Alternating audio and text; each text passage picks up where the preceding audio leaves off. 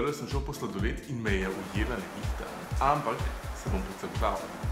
Sladoledom. Mmm, Funny bubble, šarene kroglice, jagoda in vanilija. Zgleda full dobro. V bistvu zgleda to kičasto, kot da bi ga en samorok skup spravil, ampak ravno zaradi tega sem rekel, wow, to pa moram kupiti. Tako da dajmo to odpreti. Me prav zanima, če je noter še kaj, a veš tako, razen sladoleda, ne, se ne da kaj s sladoledom narobe, ampak jaz pričakujem šarene kuglice.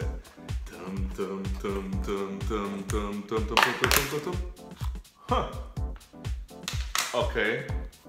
To pa ni, to ni fair. Tle, a vidiš tle? Tle je manj sladoleda na račun šarenih kuglic. Fami bubbles. A, je to slučajno za pestenca? Čak, najprej. Kaj hudiča je to? A je to za pojest? A je to... To sploh ni za pojest. To je, to je na tek. Dobil sem za pestenco, ok? Za pestenco.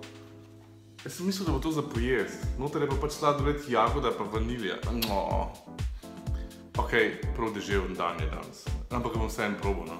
Da vidim, če vse je za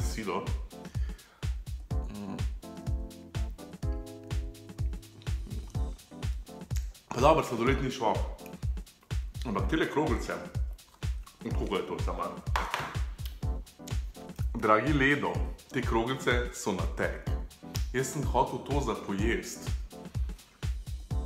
Jagoda vanilija, nič posebnega, razen če rabite te kroglice. Uživite vikend in se vidimo.